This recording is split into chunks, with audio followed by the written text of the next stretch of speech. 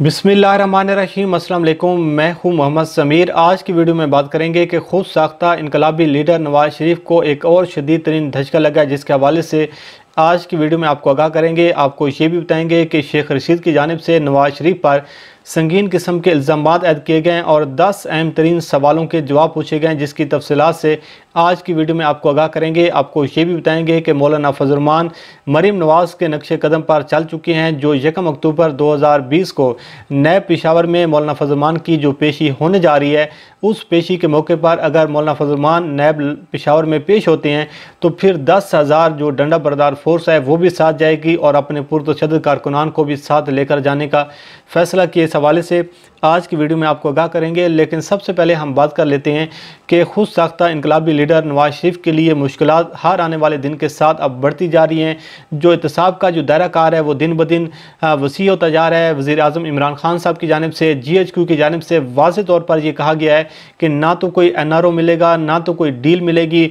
जो सियासी मामला हैं, वो आप जाकर पार्लिमान में हल करें। जो आपके लीगल मामला हैं, वो जाके अपनी अदालतों में हल करें।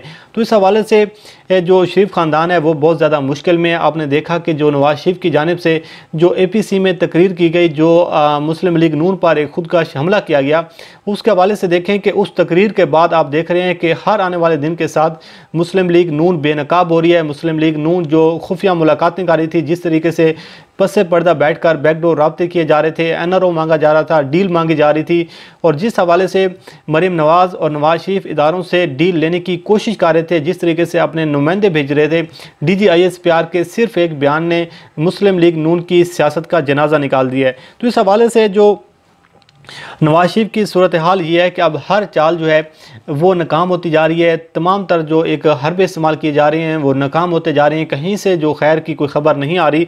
सूरत हाल ये है कि जो नवाज़ शरीफ की जानब से ए पी सी में तकरीर की गई, उस तकरीर से ना तो जो पार्टी के अंदर के लोग हैं, वो खुश हैं, ना शबाज शरीफ खुश है। उसके साथ साथ जो वजीफ़ा खौर साफ़ी हैं, जो हमायती साफ़ती बरदरी है नवाज़ शरीफ की, वो भी खासे परेशान हैं। और उसके बाद जो सुने पे स्वागत, ये हुआ है कि जो खुफिया मुलाकातों का जो इंकशाफ इख्तलाफ हुआ है।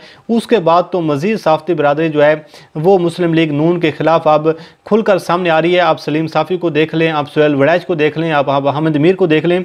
सूरत हाल ये है कि ये लोग आ, कहते हैं कि जब हमें तो ये बताया जाता है कि हम लड़ेंगे मरेंगे और हम वोट को इज़्ज़त देंगे लेकिन सूरत हाल ये है कि जब आप पस से पर्दा बैठ कर बैकडोर रबते करेंगे आप छुप कर मुलाकातें करेंगे एन आर ओ की भीख मांगेंगे तो फिर आप ज़्यादा वक्त के लिए ज़्यादा लोगों को बेवकूफ़ नहीं बना सकते। अब सूरत हाल ये है कि एहसन इकबाल की जानब से एक बयान सामने आया कि जो नवाज़ शरीफ ने ए पी सी में जो तकरीर की थी, वो नवाज़ शरीफ का ज़ाती बयान था। उसका पार्टी से कोई तलक नहीं। आप अंदाज़ा लगाएँ कि इससे बढ़कर नवाज़ शरीफ के लिए अब एक जो हद तक है वो, और क्या होगी? नवाज़ शरीफ की एक इंसल्ट क्या होगी कि ख्वाजा ख्वाजा आसिफ हों या फिर एहसन इकबाल हों, वो भी नवाज़ शरीफ के बयान को कह रहे हैं कि ये उनका ज़ाती बयान था। मसला ये है कि ये मुस्लिम लीग नून का एक वतीरा है कि एक हाथ बालों में होता है, दूसरा पाँव में होता है कि जो हाथ जो है वो चल जाए।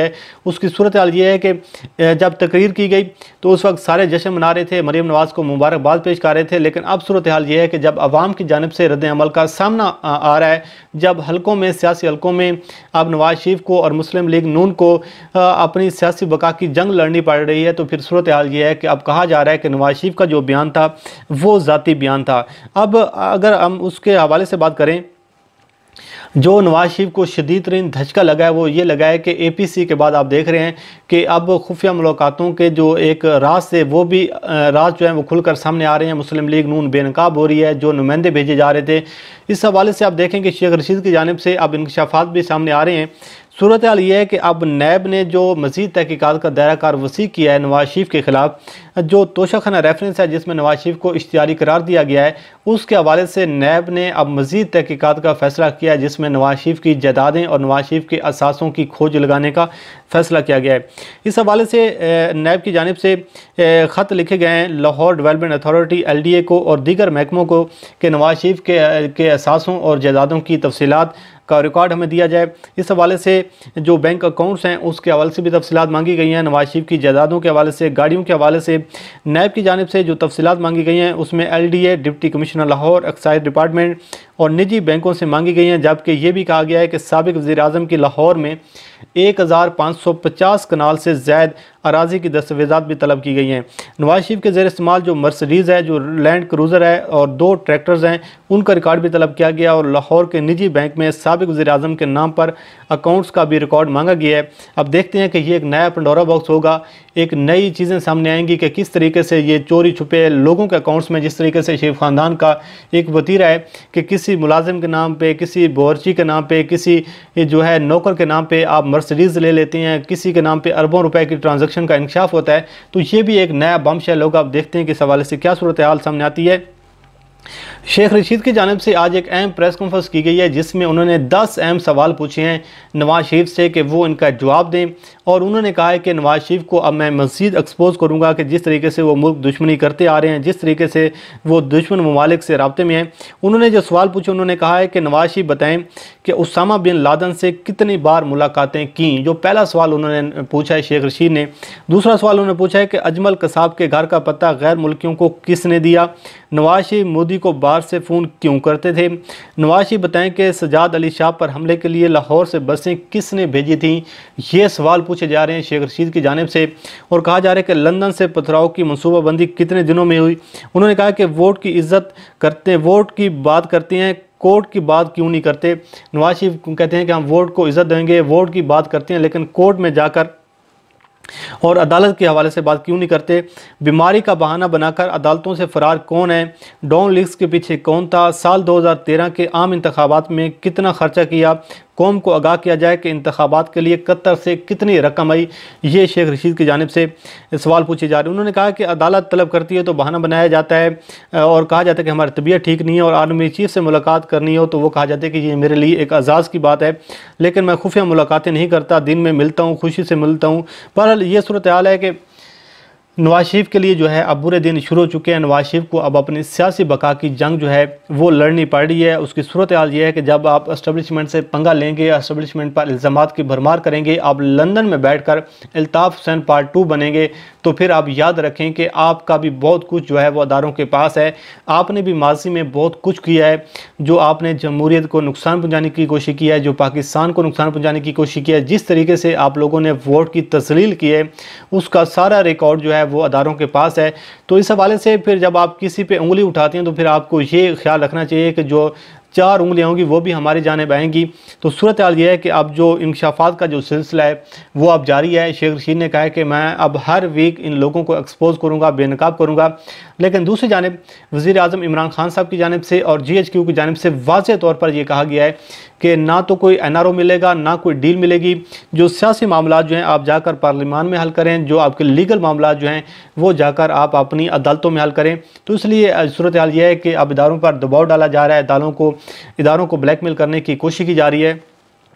अब देखते हैं कि ये जो सिलसिला है, कहाँ जाकर रुकेगा। दूसरी जानब, जो सबसे इंपॉर्टेंट बात यह है कि मौलाना फजलमान अब मरीम नवाज़ के नक्शे कदम पर चल चुके हैं। जिस तरीके से मरीम नवाज़ नैब लाहौर पर हमलावर हुई थी, वहाँ पेशी के मौके पर अपने पुरतशद कारकुनान को लेकर गई थी और हज़ारों की तादाद में जो कारकुनान थे, उन्होंने जाकर नैब लाहौर पर धावा बोला। वहाँ पर आपने देखा कि किस तरीके से लड़ाई हुई, क्या सूरत हाल पेश हुई। मकसद ये था कि अदारों को बताया जाए कि हमारे पास जो ताकत है, हम इसका इस्तेमाल करेंगे, लोगों को हम इदारों के ख़िलाफ़ करेंगे।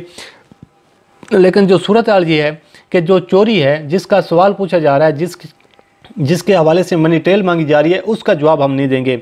अब ये ये जो सूरत हाल है, ये जो तरीक़ाकार है मौलाना फजलमान अपना रहे हैं, यकम अक्टूबर 2020 को पिशावर नैब में मौलाना फजलमान की आमदन से ज़्यादा असाजात केस में उनकी पेशी है, इस हवाले से नैब ने उनको तलब किया है।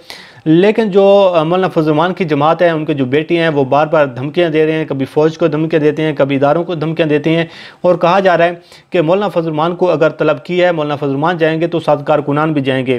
तो इस हवाले से जो सुबई अमीर हैं जमीयत इस्लाम के मौलाना अताउररहमान उन्होंने पार्टी की सुबई मजलिस अमला का तीस सितंबर को इजलास तलब कर लिया, जिसमें ये गौर किया जाएगा कि मौलाना फजलमान ने नैब लाहौर में, नैब पिशावर में पेश होना है या नहीं होना, और इस सारी सूरत हाल के हवाले से जो मुफ्ती महमूद, जिनको मरकज़ में सुबई सलार आला मौलाना अज़ीज़ अहमद अशरफी की जेर सदारत तमाम सलारों का इजलास भी पेश तलब कर लिया गया इस हवाले से फैसला किया जाएगा कि नए पेशी के मौके पर दस हज़ार जो जमातुलसारम है, मौलाना फजलमान की जो डंडा बरदार फोर्स है, उसके दस हज़ार जो बावर्दी रजाकार हैं, वो भी नायब ऑफ़िस जाएँगे। उनके हवाले से फैसला किया गया है, तैयारी शुरू कर ली गई है।